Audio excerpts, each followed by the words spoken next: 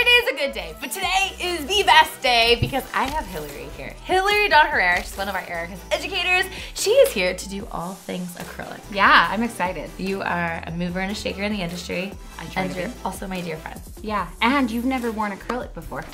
Never. So we're gonna do everything from prep to application to free edge shaping and top filing. And we're gonna show you how. Be gentle. Always. Mm. Let's do this. Okay.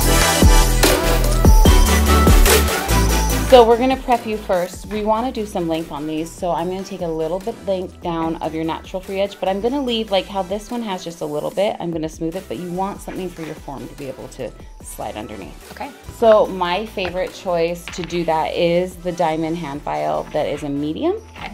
because you don't, and you could do fine as well. Mm-hmm. And I like to just slide under there. One thing I've learned is keeping the face up so I can see the diamonds just a little bit is going to allow me to get that edge kind of close without causing any discomfort. So Hilary, what are some of the like the newbie positions that you see often? So sometimes I see a few different like hand holding things that can get in your own way. So for example, when you're isolating to just one finger, uh-huh. the problem is you're really inhibiting any movement.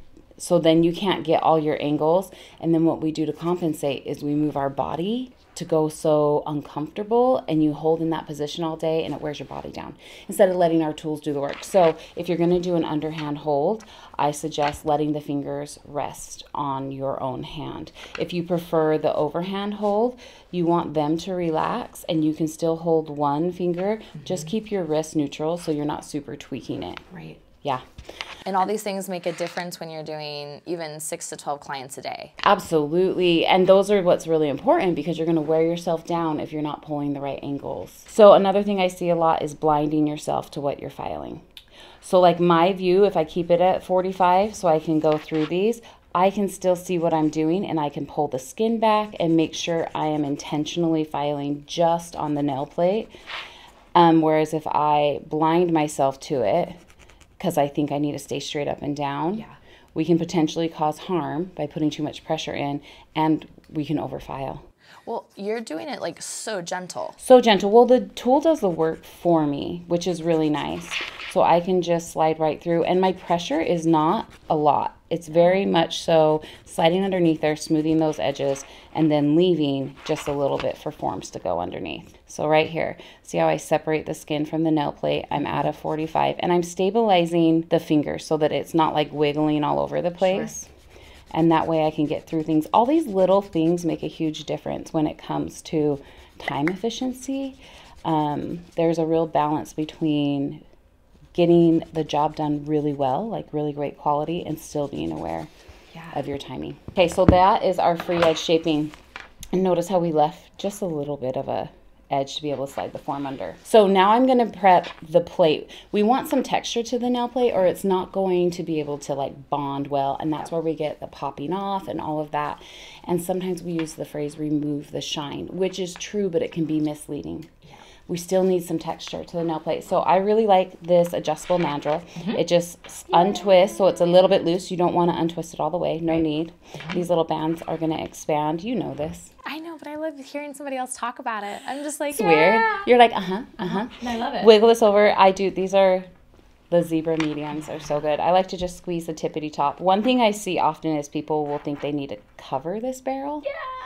And I mean, I understand that like impulse, but there's no way you're gonna do it. The little screw top, screw it'll cut into them. So you want that to sit just a smidge above it, and then tighten it down, just a little smidge, smidge. Little- little smidge, and they're pre-seasoned. I'm not gonna go really close to the cuticle or the proximal fold fold zone because it's such a big Tool.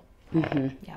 and you don't want to be shoving a larger tool into a smaller space. That's when we create damage. But we do have a bigger job to do here. So this is a larger barrel. It'll work for us. Okay, so what we're going to do with this sandy band, because we are on the natural nail plate, is we're going to run it low RPMs. Yeah, we're going to go very gently. So you just start seeing a little texture. And there's like a touch of damage, just like a little bit. So when you have that, like if you feel like you have a little cave or divot, it's just a very light very light tickle so that you lose all the shine and you're actually getting texture. Yeah. on the nail plate. So all of this can be happening while you're doing your consultation. I like to call it a working consultation. So you're never sitting here with your client not working. So my first question I always ask everybody, especially with repeat appointments, is how's your length and shape? That means I can immediately get in there and start working while they're telling me their hopes and dreams and goals for their nails because this has to happen regardless of what product we're putting down. And today we're doing put down some acrylic, so that's fun. I'm an acrylic virgin. You've never had it on? Never. Wow. And we've been in the nail industry, my family, forever, and I was never allowed. Oh, really? It was homecoming, and I went to a salon, walking distance from my high school, and came home, and my parents made me take them off. Whoa, how did you take them off?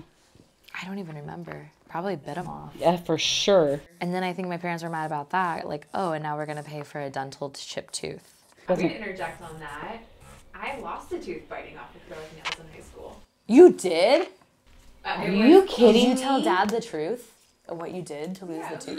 that was the third kids. They didn't care anymore. but That's I was awesome. half of a fake tooth, and that porcelain or acrylic gave out, biting off the nail.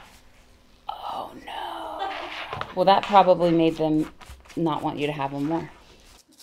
Wow. So, note to self: do not chew off your nails. No. It will have you a dental. No, no, and you know your nail tech can do like reducing a ton of the bulk with an E file and bit, and then they can finish a little bit soaking, so we reduce damage. Look at you. I know.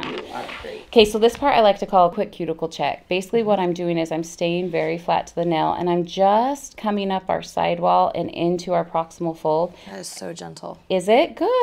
Oh, I don't even know you're touching me. you want it to be gentle. So many people are really even sensitive to cuticle pushing. I'm one of them. Are you? So I think that's almost made me more gentle of a nail tech. As I do this cuticle check, I'm noticing right here if I put more force back towards that proximal fold, this is what we like to refer to as like overgrown. Some people like to call it overgrown eponychium, your overgrown proximal fold. But what we have is some dead skin cells stuck to the plate. And if I just go ahead and push and shove, I can actually cause more damage. So I'm going to leave that one and I will go through and address it with one of the diamond bits. And we can just exfoliate it off. Because it's also more comfortable. Like if you start pushing that rim, it becomes uncomfortable, and it's easier just to take a diamond bit and sweep it away. Yeah. Versus have this rough ridge that's already irritated, right? Because of the pushing. Right, and then you're gonna go in and do more work and cause issues. And I even had somebody send me a picture with a pusher. What happens is if we can't get it, we start angling and putting more pressure than we normally would. And there's like permanent damage on a plate. Like I've even seen plates that will go around the spot that got too much pressure. So we just don't want to do that. No. We don't want to do that. All right, so now I kind of know what I'm dealing with cuticle wise. Okay. Let me show. So let's recap real quick. Yeah. Is nail virgin, nail plate. You've been having a conversation. How long should this take? Like what we have just done on on two hands. eight minutes. Eight minutes. tops. Tops. Like you should be like through there and then we're ready to go into good basic cuticle care Great. within the first 10 minutes of an appointment. So within the first 10 minutes, you should be through your basic nail prep and getting ready to go into cuticle work. That's going to help your time be efficient and you're not sitting here waiting for anything because any service you're going to do that's an application is going to require the same prep work if you're wanting product to hold on to a nail plate. Okay. Okay, so I want to show the cylinder bit. Here's why. It has a flat edge. Now that has advantages and disadvantages. Talk and to me. Okay, because it has this flat edge, mm-hmm. we're actually going to stay parallel to the plate. A lot of people think I'll use that flat edge and carve. And that causes lots of issues, so many unknowns. So we still want to stay flat, but I'm using that flat edge because there are little diamond bits on the end and it can work on exfoliating the skin. And we can do this motion where we're almost coaxing it off the plate and then I'm just going to do a slight forward towards them, not down towards the plate. Right. Slight forward towards them to kind of coax it back. So let's start at 10,000 RPMs. Let's do it. Okay, I'm going to slide to the side and just get a feel for how the exfoliating is working on you. And I'm just tracing right over those dead skin cells. Now, if I'm unsure what's still stuck to the plate or not, we give it a little brush Yes. so that we're not going in blind. Are you team um, brush towards your client? Yes. Me too. You know Are what? the only ones? No, you taught me that. I Here's what, did? hmm and it makes so much sense. I think we um, want the dust away from them, or someone just somewhere showed us that. And I get how it can be confusing. It's like, oh, we're taking the dust and we're pushing it, and Right. it's like, no, we're removing it all. We're removing, and you can even do a little circular sweep if it's really bugging you. But what we're wanting to do is you can see that this has already lifted, and if we are going towards ourselves, we pull it back down versus you can watch that little dead skin cell lift, and then we start getting the little pocket. Pocket. Pocket. Okay. So that's like one of the favorite things. You use something with a flat edge. There's lots of options, right? We have the small tapered barrel. yeah, that's your favorite. lean. Long and lean is my I love it. Or um, cylinder. Right, and you are. I love one of your sayings that you say is the bigger the tool, Bigger job. bigger job, bigger tool. Bigger And job, bigger tool. Always bigger job, bigger tool. Smaller job, smaller tool. And some In people like the space, visibility. Yeah, absolutely. In space, in grit. And then the other element of that to me is your speed. So if you're going over and over here and you feel like it's just not cutting it, I started at 10,000 RPMs. If their skin is thicker, we don't want to lean in and give more pressure. We want to turn our speed up and let our tools do the work for us. Okay, so that is our cylinder bit. I'm going to show you a couple other options. Yeah. So on the ones that are not connected to the plate, you can go in with a few different bits and choose what fits. I really mm-hmm. like something that's got this is the nib, right? Yeah. And I like that it can open the pocket for me in an efficient way. So it starts leaning towards that high end look where we open and can apply product tight.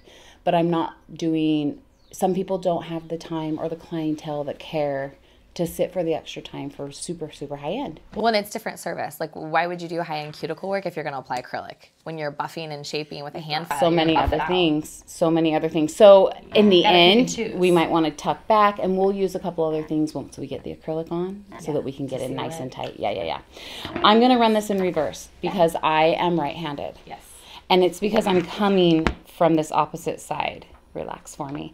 Ooh i learned something cool the other day you know the relax your hand relax your hand some people don't know how to do that. So I've also given cues like wiggle your toes, something to move their mind.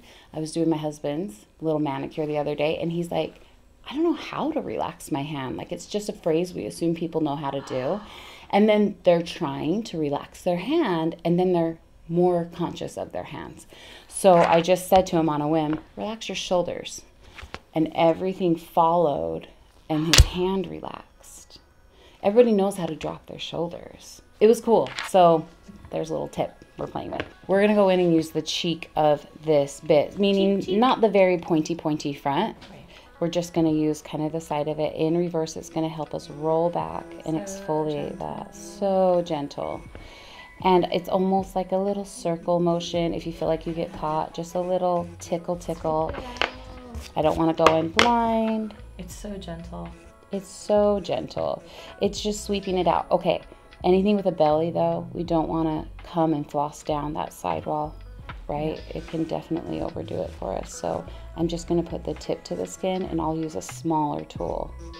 So we get I get asked that a lot in our YouTube channel. I was like, what are you talking about referring to as flossing? Okay, that's And a great question. It is a great question. It is, and we kind of throw around these phrases that we assume everybody gets. So, what it is is we often come along this proximal fold and then we pull towards us.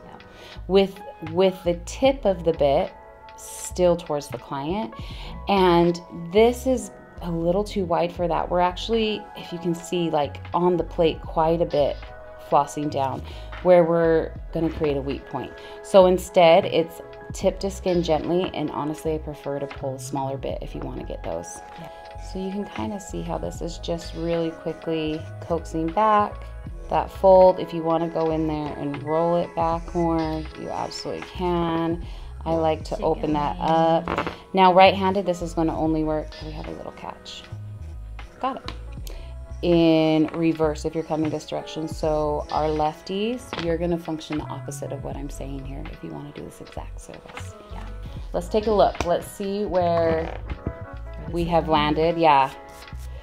So I love this. This is a great example here. Can you see that pocket? in there. All right, so we finished our essential nail prep, which is shortening that free edge, smoothing a little bit, full nail plate with the adjustable mandrel and sandy get texture. Then we went in, we did a pusher really quick. We used a cylinder on that stuck on skin, and then we went through with a nib bit and got that essential cuticle work done so the skin is up and off of the plate so product can adhere. You should be under about 15 minutes for that essential nail prep. And from there, you can always choose if you want to step into more high-end cuticle work. If you like content like this, go ahead, like, comment, and subscribe.